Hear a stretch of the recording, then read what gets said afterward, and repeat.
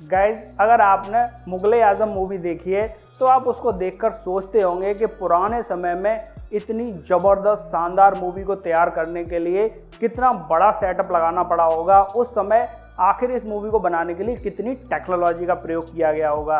तो गाइज़ इसके बारे में सिर्फ़ इतनी ही जानकारी काफ़ी नहीं है। दरअसल निर्माताओं का इरादा था कि इस मूवी को अलग अलग तीन भाषाओं में रिलीज़ किया जाए।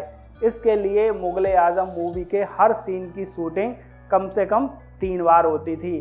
पहली बार हिंदी में दूसरी बार तमिल में और तीसरी बार अंग्रेज़ी में। और जब मुगल आज़म मूवी बनकर रेडी हो गई और वो हिंदी में रिलीज़ हुई तो सुपर हिट रही और वहीं उसका तमिल वर्जन जब रिलीज़ किया गया तो बिल्कुल फ्लॉप हो गया। इसकी वजह से निर्माताओं ने फिर मुगल आज़म मूवी का जो अंग्रेज़ी वर्जन था उसको रिलीज़ ही नहीं किया। तो गाइज़ ऐसे ही अननोन फैक्ट्स को जानने के लिए टोटल फैक्ट नॉलेज को अभी सब्सक्राइब करें।